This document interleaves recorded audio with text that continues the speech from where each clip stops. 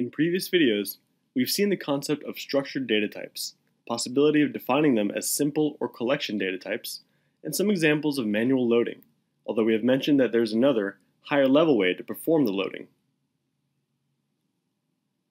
Remember that we still have to solve a request made by the travel agency to implement a ranking of countries according to the number of tourist attractions that they offer.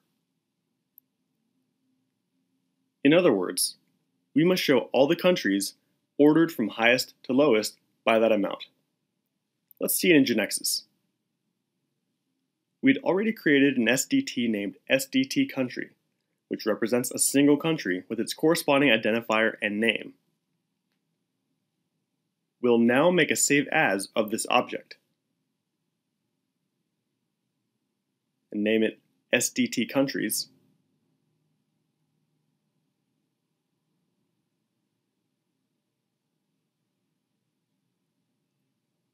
and define the new item, attractions quantity, to also be able to save the number of attractions it offers.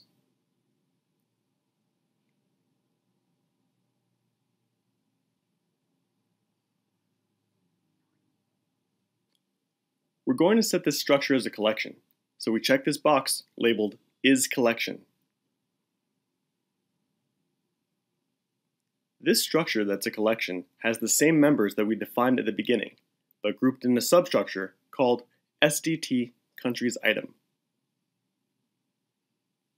This substructure is automatically created when we mark it as a collection. In this way, each item will store data from one country, and the collection will store the set of countries. We save this definition, and to load the data from the collection, we'll use a Genexus object of data provider type. This object allows us to load a data structure, for example, from information obtained from the database, and returns the structure already loaded. So, from Genexus, we create a data provider object and name it ranking countries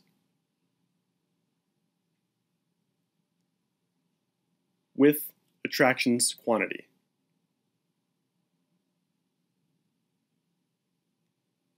And Genexus places us in the source section of the data provider. This is where we'll declare how we want the data to be loaded into the collection to be returned. Note how easy it is to declare the loading. What we're going to do from the KB Explorer window is simply drag the SDT country's structured data type over the source of the data provider. When doing so, Genexus automatically writes several lines of text. If we open the data provider properties, we can see that Genexus assigned the name of the SDT countries collection to the output property. This means that the data provider will return a collection of SDT countries structured data type loaded with data. Since SDT countries is already a collection, it isn't necessary to configure the collection property of the data provider to true. It should be mentioned that if this collection property is set to true, the data provider will return a collection of the SDT indicated in the output property, regardless of how complex its structure may be. Let's see what Genexus wrote in the source. We recognize the name of the SDT country's structured data type, which is a collection. And then between brackets is the substructure of the collection item. Let's compare this with the structure of the SDT. We see that Genexus represented the structure of SDT countries in text form, and left the member's ID, name, and attractions quantity of the substructure of SDT countries ready to load their value. If we wanted to load this structure with fixed data, for example, with France and China only, it would be enough to create two groups and assign these corresponding values. But actually, we want to load the collection from the content of the country table. Then, we must instruct the data provider to run through the table. To this end, we use the from clause, and next to it, we'll indicate the name of the transaction whose base table we want to run, as we've done to indicate the base transaction of the for each command. So in this case, we write from country. If the transaction had more than one level, then in order to specify a certain level associated with a certain base table that we want to navigate, we would have to write the name of the transaction, period, name of the level. For example, if the base table we want to run through is country city, then the base transaction would be country.city. Going back to our example, we'll indicate that we want to load the ID element with the value of the country ID attribute.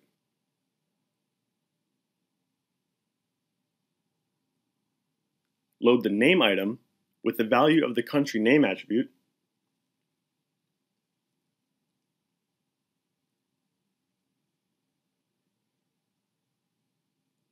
and load the attractions quantity item with the number of tourist attractions in each country. So to this member, we assign the result of the inline formula count attraction name.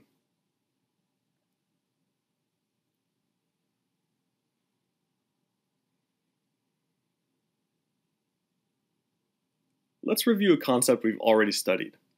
This inline formula will navigate the attraction table by the attribute we've indicated in brackets. In addition, the table navigated by the data provider, country, and the table navigated by the formula, attraction, have a common attribute that is country ID. This formula will count the attractions of the country navigated by the data provider each time. So what we've done is simply to declare a table to be navigated by the data provider, and for each record accessed, we've indicated the values we want to assign to a new item in the country collection. Since the data provider runs through the country table, we usually say that the base table of the data provider is country. The final result will be that the data of all the countries in the database, each with its number of attractions, will have been stored in the collection in memory. We'll save these changes. Remember that we already have in our knowledge base a procedure named countries ranking, so we're going to modify it. First, in the variables section, we'll define a variable, countries, based on the SDT countries data type.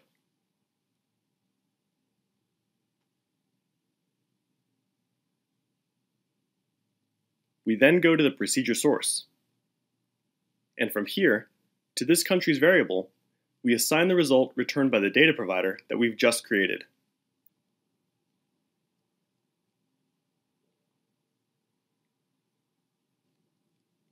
In this way, we're invoking the data provider, and it will return a collection of countries, which will be loaded in the variable countries. If the data provider needs information to work with it, then it'll be passed in a parameter between brackets. Okay. Remember that the requirement is to view a ranking of all countries ordered from highest to lowest according to the number of attractions they have registered. Therefore, we still need to order the collection we got loaded. That is to say, to order the items of the collection of countries before it's shown from highest to lowest according to the number of attractions they have registered. To solve this, we have the sort method. Remember that variables or attributes have properties and methods available, depending on their data type. In the case of a collection SDT, the sort method allows you to sort the collection by a particular item. The syntax is as follows. The country's variable, period, sort, and in brackets, between quotes, the name of the item by which we're going to order, which in this case is attractions quantity. But in this way, the collection of countries will be ordered from lowest to highest by the number of attractions, and we need it to be ordered from highest to lowest because we want to implement a ranking. To indicate the reverse order, inside the quotes we'll add straight parentheses.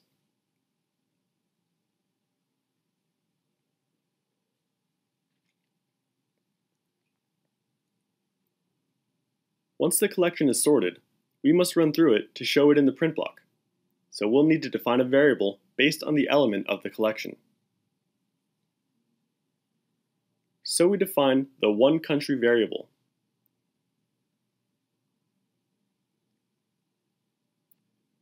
It's based on the data type corresponding to the element in the collection.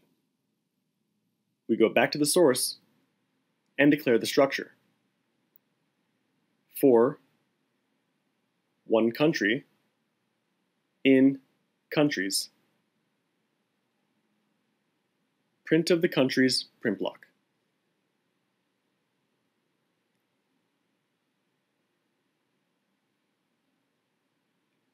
Now let's go to the layout and insert the one country variable.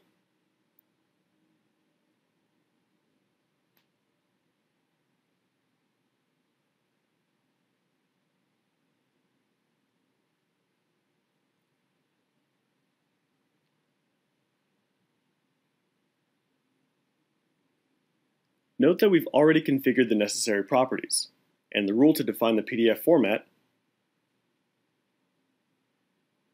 so the request is complete. To see the ranking running, we select the Run option.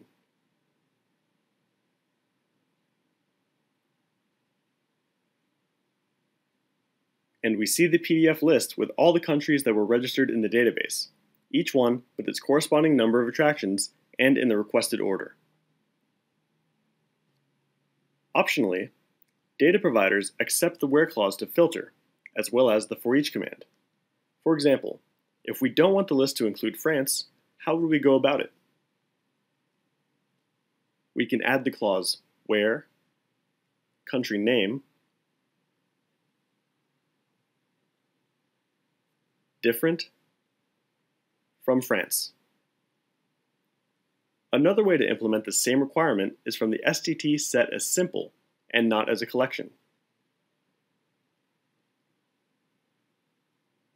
In this case, the collection must be built by the data provider, and for that, its collection property must be set to true. In this way, we're telling the data provider to return a collection of elements of SDT country type. Also, note that the collection name property is displayed, and a name has been automatically assigned to the collection. When invoking the data provider from the procedure source, we must define the country's collection variable as a collection of the structured data type SDT country. Note that the syntax used to invoke the data provider does not change, only that the variable that receives the result is based on a simple SDT. Therefore, in order to receive the collection returned by the data provider, we must declare it as a collection by selecting the Is Collection checkbox. We update the changes in Genexus server.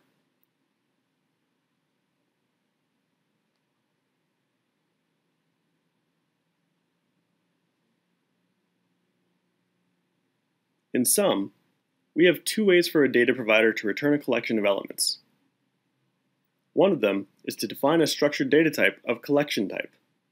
After dragging it to the data provider source, it's automatically configured to return a collection of that type.